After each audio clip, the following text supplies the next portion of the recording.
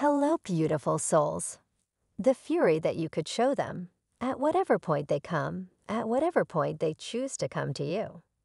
They are wanting to advance back in your life. They could have purchased something for you, a present for you, or they are wanting to offer you something unmistakable. They could have brought a ring. I recently received that message that some of them have purchased a ring for you to propose to you and they will do so by sending you that message or hitting on that call button. Some of them have composed a ton of instant messages and have kept them in their drafts. Some of them continue composing instant messages and afterward erasing without sending, since they are very uncertain with regards to how you will respond, that you will answer them or not. They are only afraid of your response. They are afraid of confronting you they are afraid of confronting their own reality. They are afraid of getting disgraced by you for how they have treated you. Thank you.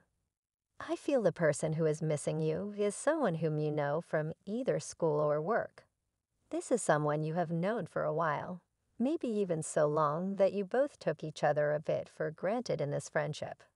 In the past, there was some kind of secret between the two of you that drove you apart. It's not a bad secret that would hurt the other, but it's something that this other person couldn't talk about just yet. I feel that there was a fear of losing the friendship over this. I see that now either you or they are ready to be more open about this part of your slash their life. If it was you or this person who took the distance, you need to know that this person is missing you. If you were the one, don't worry, they are not mad at you or anything they do worry a bit about what's going on with you. This is someone from your past with whom you share a deep spiritual connection. In the past, this person wasn't honest about their true feelings for you. They didn't feel worthy of you or of this connection, so they pushed you away because they were deeply hurt in the past. Since your separation, you have both gone through a huge healing cycle clearing yourselves from past baggage that kept you from opening your hearts. I see that this person is going to reach out very unexpectedly to ask you out on a date. It will come out of nowhere and catch you a bit off guard. They want to offer you something stable this time around. For some of you, I can see this already happening in the next seven days. Good is probably an ex or situation that you aren't in contact with right now. I feel that their living situation was divinely guided by spirit because they needed to step up and release some toxicity and bad habits from their life before they could meet their return. They are currently going through a very rough time right now.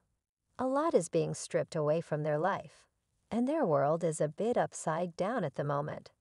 They may even have some legal trouble that they need to clean up. This person is feeling quite stuck when it comes to this connection.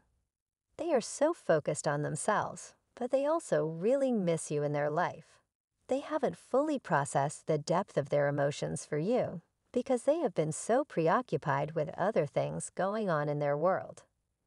Type yes if you believe in God. God bless you.